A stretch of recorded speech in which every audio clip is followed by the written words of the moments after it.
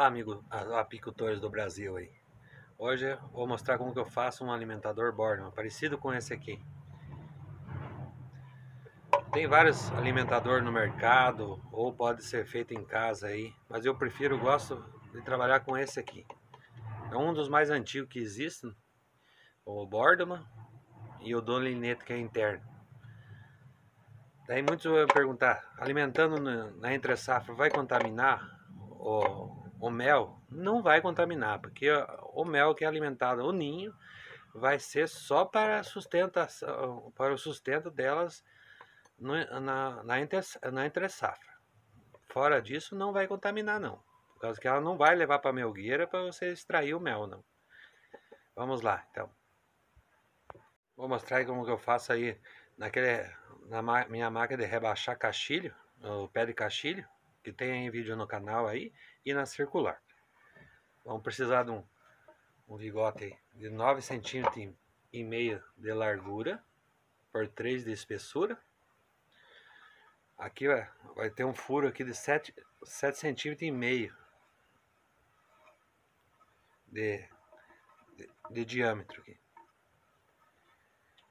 Por 12 que nós vamos cortar.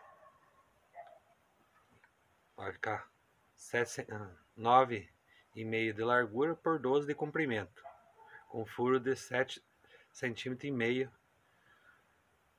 de diâmetro aqui. Vou uma, uma serra copo para fazer o furo. Eu já fiz uma, uma ripinha, já com os 12 centímetros por 9,5, o central, daí eu vou só com parafuso no meio sobressalente, só vou marcando onde que é o centro aqui, fica marcado, ó, para fazer o, o furo certinho aqui.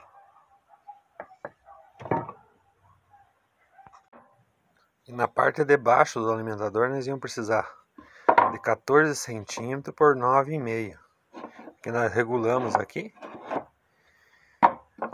que vai ficar desse jeito aqui. Já, já mostro funcionando como fica aí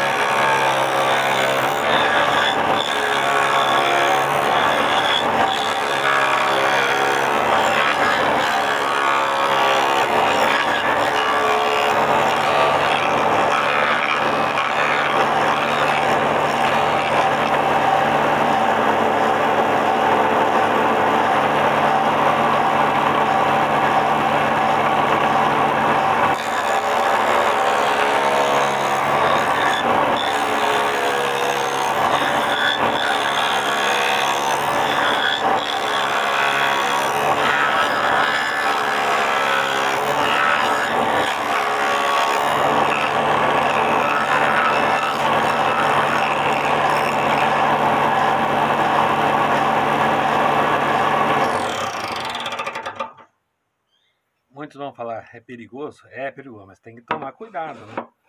Olha, pode ver que não pega nenhuma parte na serra, só não pôr a mão aqui na frente, né? Pegar sempre a lateral e atrás aqui. A circular é um pouco mais perigoso, mas dá para fazer também. Tomando seus cuidados aí, dá para fazer tranquilo também.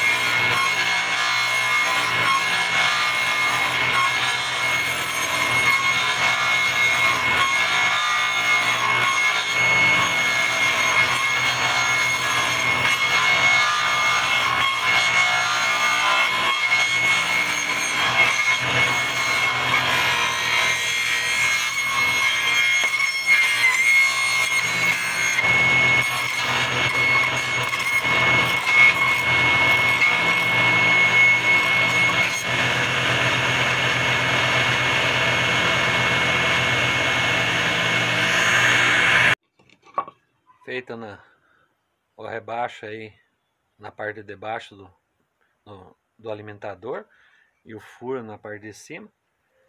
Vamos passar cola branca. Né?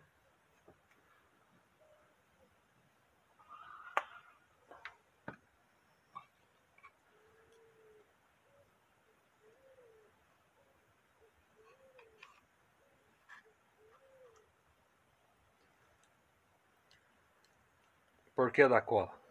Porque começa a umedecer, como é pregado um no outro aqui, começa a umedecer, daí sem a cola começa a vazar o líquido para fora aqui, e daí começa a dar a pilhagem, assim não.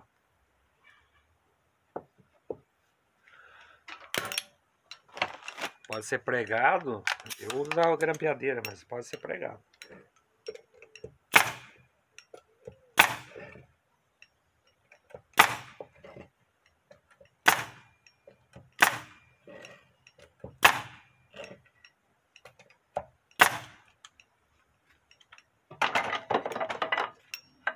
E tá pronto o nosso alimentador Boardman. Ó. Daí aqui para alimentar aqui é só fazer, pegar um prego.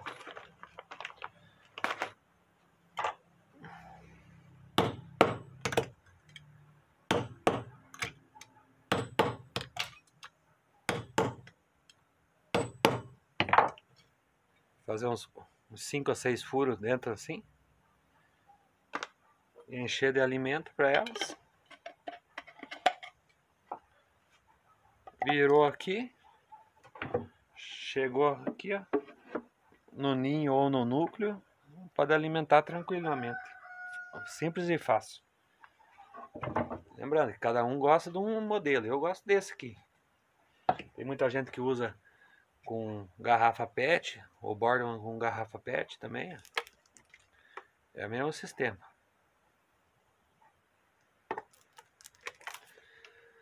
Valeu? Quem gostou do vídeo aí, deixa seu joinha, seu comentário.